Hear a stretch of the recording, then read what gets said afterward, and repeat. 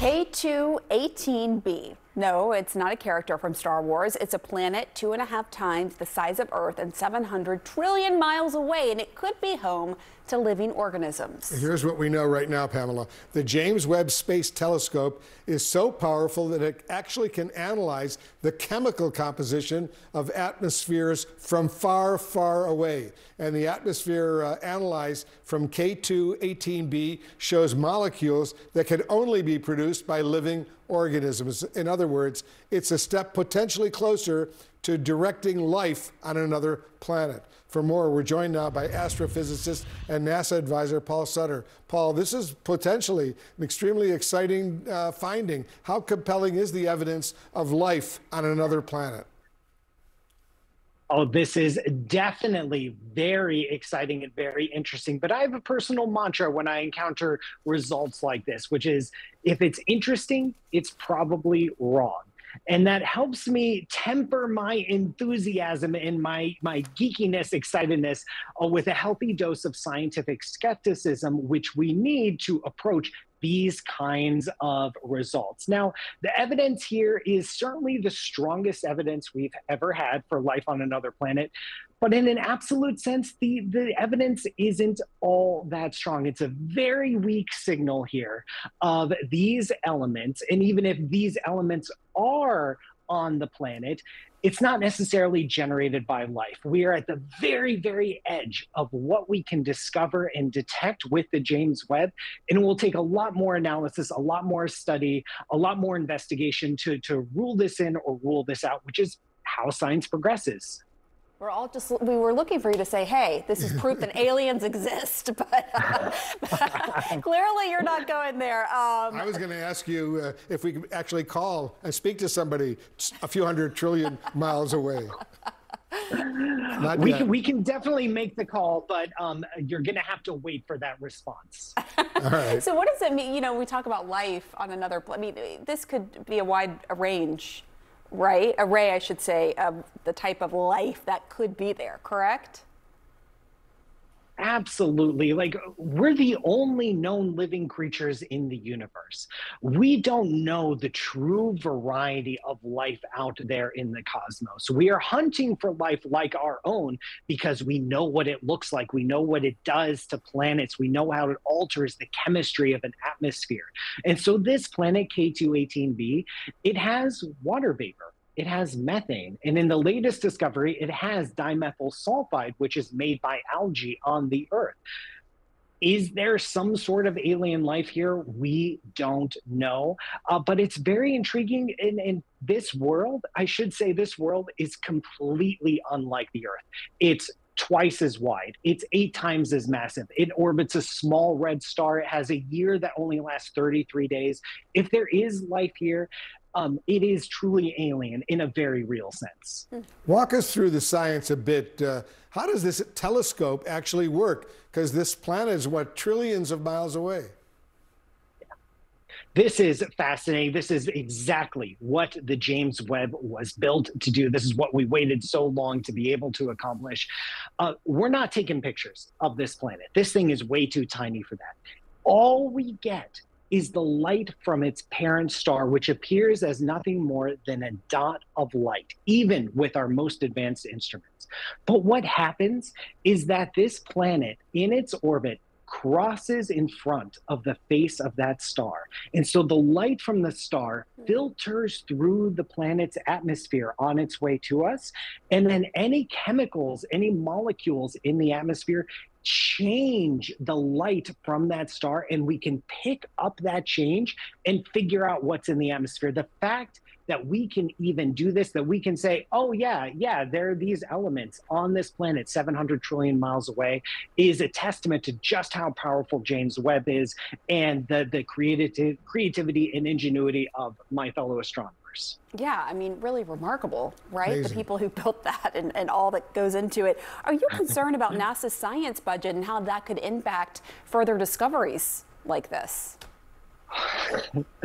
um, yeah, I'm frankly, I'm I'm scared, and when I'm not scared, I'm exhausted, and when I'm not exhausted, I'm I'm scared of what's happening to science in our country and the future of science. And I empathize with people, I really do. I understand that if if budgets are tight, if times are uncertain, uh, you know things like the James Webb, things like looking for life outside the solar system, things like astronomy, uh, seem like unnecessary expenses. And and yeah, this is this is extra stuff. Mm. Also, if we were to eliminate all of NASA's budget, nobody's life in the United States would change. I mean, it's not going to affect our bottom line. We take the tiniest fraction out of the federal budget to make this kind of stuff happen, to make our science advance. And what we do is make the world a more beautiful, more wondrous place. What we do is is create exciting news for us to talk about and think about. Let's bring in Professor of Astrophysics and Exoplanetary Science at the University of Cambridge, Nikku Madhusudhan. Not only is he part of Cambridge's Institute of Astronomy, he's also the lead researcher of the evidence of life beyond Earth. Uh, Professor, we've been so looking forward to this conversation with you. This is rather exciting, and you call this a revolutionary moment, as it is the first time humanity has seen potential biosignatures on a habitable planet. And it all comes in the form of a molecule, as Zain had described, which shares, well, which is exactly a similar molecule that we have here on Earth. What is the significance uh, of this molecule? Yeah, hi, uh, glad to uh, be on here. Um, the, the molecule DMS and potentially one other molecule dimethyl disulfide, we are seeing uh, hints of at least one of the two molecules, maybe even both. And both of these molecules are known to be uniquely produced by life uh, here on, on Earth, uh, mostly by microorganisms and organic matter in general. And um, the amounts that we are seeing on this, uh, on this planet it is currently we don't know of an abiotic process non-biological process that can cause uh, these molecules in the atmosphere at the levels we are seeing. So so that is sort of the hints uh, for biological activity uh, that we may be seeing. But we also want to be extremely careful in at this stage this is very early stage and we don't want to rule out non-biological processes but i want to take a step back. And for us as a species to appreciate how far we have come the even the act of being able to detect these molecules in a habitable zone planet 120 light years away is a huge technological achievement and that in my mind is the real breakthrough for us as a species how far we have come as an advanced civilization mm.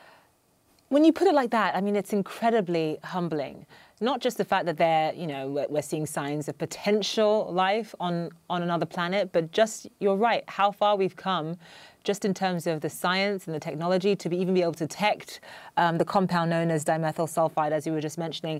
So how do we know for sure, or when will we know for sure, probably is a better question, if this planet yeah. is actually habitable?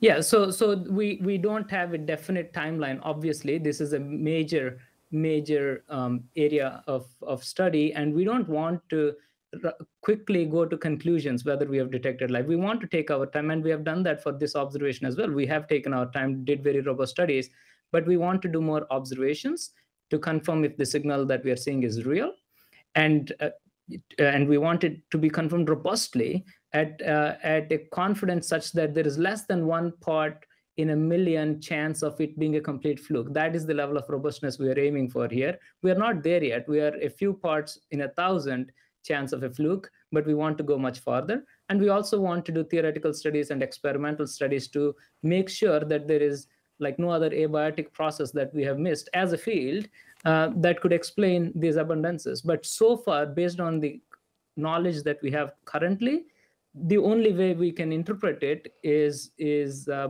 a biological process causing significant amount of these fluxes on this planet. But we want to remain open obviously you talk about taking a minute to note the inroads and advances in technology and science that got us, and you specifically, we had nothing to do with it, it was you and your brilliant colleagues, uh, to this moment. Can you speak to the impact of something as powerful as the James Webb Telescope and the role that it has played here in helping you as a tool relative to its predecessor, the, the Hubble?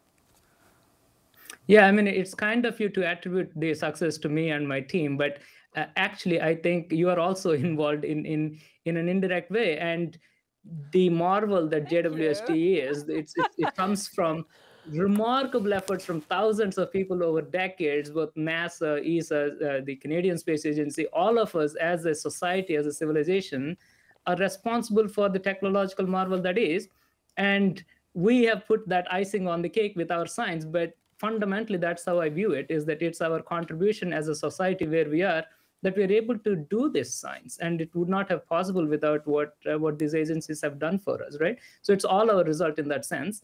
And and more specifically for this science yes we have de- uh, detected these molecules at the level we are talking about here and we want to remain open. And uh, we'll see uh, if this is confirmed. This is going to be a major transformational moment in the history of science. If this is confirmed like in a maybe in a couple of decades we might look back at science and think that that's when that breakthrough happened and that was its turning point. It is also possible that in a few years we'll realize that actually there is other another chemical processes a process that could explain this and that would be a discovery of new chemical process. So however you cut it i think this is a win for science